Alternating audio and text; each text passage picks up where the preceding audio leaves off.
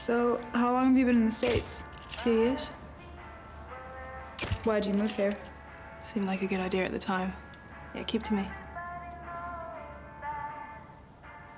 So you're from London? Yeah.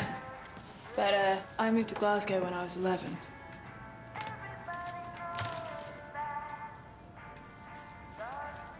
My boyfriend's family's from Europe. Yeah?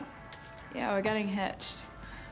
My manager wanted us to do this lame rock wedding thing, but we thought we'd sneak off to Vegas and do it Chapel of Love style. Sounds great. Can I just...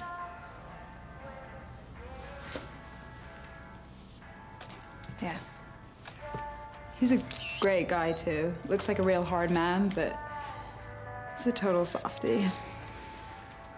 And how long have you been into women? I didn't say I was. You didn't have to.